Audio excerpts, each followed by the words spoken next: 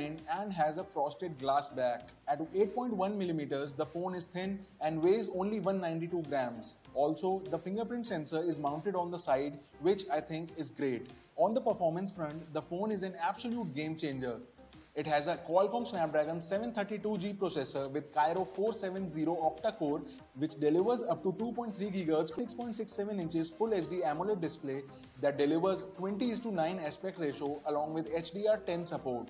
The display delivers a resolution of 2400 by 1080 with a 120 Hz refresh rate which allows fast rendering of images and further aids in smooth operations. The quad-core camera setup at the back provides a great camera experience. The back has 164 megapixel quad rear camera with 8 megapixel ultra wide, 5 megapixel telemacro and a portrait lens. The 16 megapixel front camera ensures great selfies.